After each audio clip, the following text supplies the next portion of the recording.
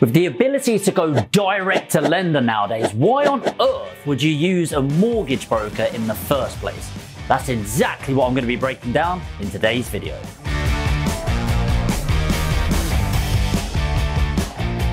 So first off, what is a mortgage broker? Well, a mortgage broker is an intermediary between you, the borrower, and the bank or the lender.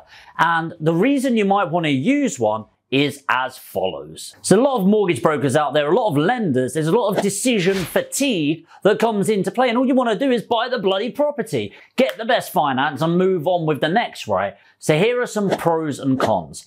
Pro number one, convenience. I really like the fact that I don't have to deal with all of the compliance. I don't need to go back and forward and back and forward with a lender, ask me for stuff, not ask for stuff, got no relationship whatsoever. The great thing about having a good mortgage broker in place is they know they've got a good relationship. They can get negotiated rates. And often, most of the lenders that have great rates and work with buy to let investors just like us, they actually don't go direct to consumer as you might expect from a residential mortgage. And so it's essentially using one person as a gateway and access to contacts that you otherwise would not have available. Within this as well, it really comes down to what you're valuing at the time. So yes, a mortgage broker might be £500 upfront and they're going to get what's known as a proc fee or a procuration fee, which is a fee from the lender. But at the end of the day, do I care about that £500 or do I care about my time involvement in this? For myself, I value my time so much more than my money. It's the only asset that's constantly depreciating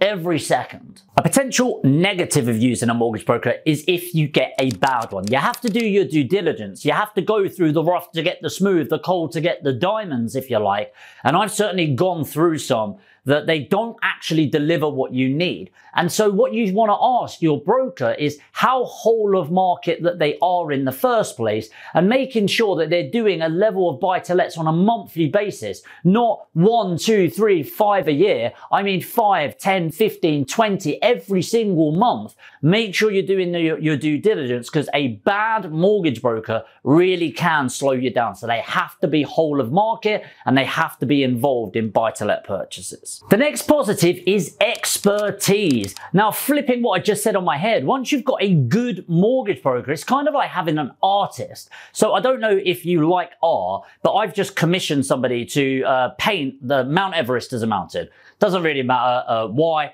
but promise you it does have a reason. Now, for me to invest in art, I don't really get this art where it's a white canvas with a red dot in the middle. I want something that can't be created by myself. And so if I tried to paint Mount Everest and have it on my wall, it would look like a traffic cone in the middle of the M25. Now, if I get this painting in June, July, and I hang it on my wall, I'm going to be pretty disappointed that that's what they produce because I can do that already.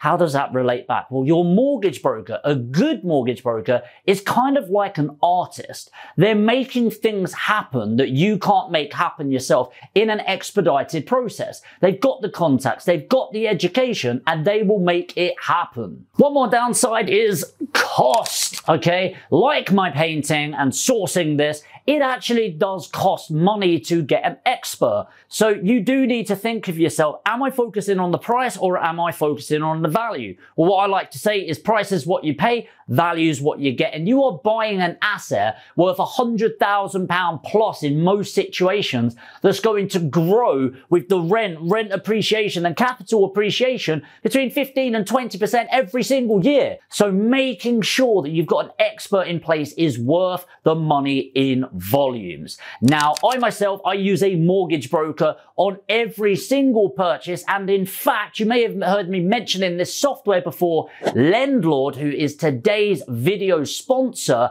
actually has it on their portal now. This is a brand new update. We've just started. We put our first one through and it has gone amazingly well. And it's got it as a fraction of the cost. And you can use this piece of software as your one-stop shop for pretty much everything. I'm going to jump in now and show you exactly how to use this tool. And by the way, if you want to go along this with me, I'll put a link to Lendlord down in the description. It is completely free. Make sure you get it. It's going to blow your mind. And by the way, you signing up isn't getting me paid anything. But the description is below. Make sure you click on that and let's jump into Lendlord so I can show you exactly what you need to do. So guys, I'm here on Lendlord and then down the left-hand side, you've got everything. The one we're going to be going to is mortgage search down here. And I really like this actually because this is my dummy account. I've got some of my portfolio on here. So I'll show you the portfolio I've got. So I've got what, 1.2 million pounds worth of properties on, which is cool. Got a breakdown on it. I'll update this actually. So I might end up just putting my full portfolio on for you guys to see. Makes it easy. Um, but down here on mortgage search. So first of all, you need to make sure you fill in your income and outgoings and your tax band. The more accurate you are with the information you put on this, the more accurate it's going to be on there to get your best results. So let's say I'm going to go for a mortgage here. I'll click company. And then what I'm going to do is I'm going to pick one that I'm going to remortgage. So I'm going to go, in fact, you've, you've got all of these. Let me just show you these tags. These are deliberate tags that you fill out. It's very, very easy and intuitive. So let's say I'm going to go with a remortgage um, with capital raising. What that means is I'm looking to remortgage a property and hopefully get some money out. I'm going to go with, I don't know, let's go with Vernon Place. All right. Already there, by the way, if I change this, you'll see that they're automatically changing all of these uh, figures here based on their predictions. But let's go on Vernon Place. I'll save that. Estimated property worth, probably about right actually. 165, maybe 170,000 that I'd like going to. Rent now is about 900 on that. It's gone up.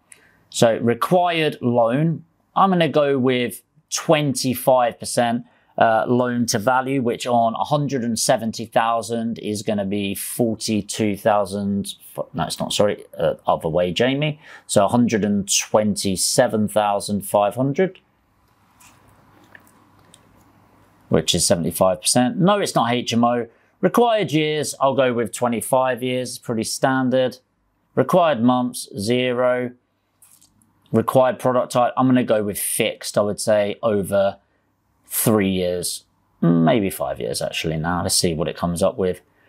Interest only, it's almost always going to be on interest only, but if you want to look at repayment, that's cool.